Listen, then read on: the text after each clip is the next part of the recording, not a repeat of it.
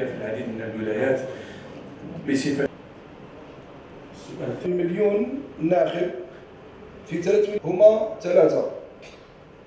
الجزائر. ولاية تيارت هذه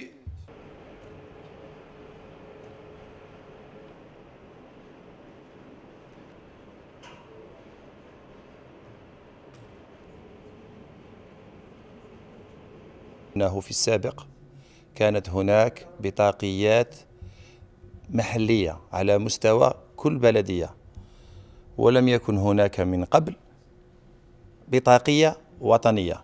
الإيجابية أنه لن يكون هناك تضارب في المعلومة بين مختلف البطاقيات البلدية الموجودة في السابق.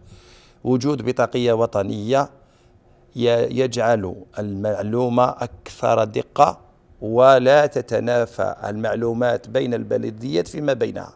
هذا أكبر هدف سطره المشرع للسلطة. باقي الجوانب التقنية التي آه، هيئت وجهزت لغرض آه، آه، تحضير اقتراع شفاف ونزيه.